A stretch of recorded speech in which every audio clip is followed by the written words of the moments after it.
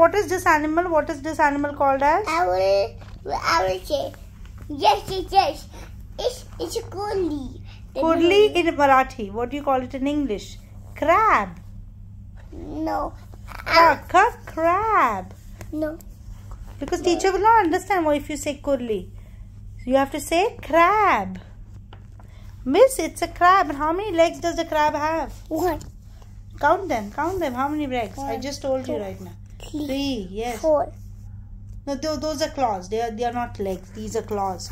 So one, two, three, four, five, six, six, and two claws. So insects have One, two, three, four. five, six. six, and two claws. And two claws. Again. One, two, three, four, five, and one claws and two claws. Two claws. Excellent.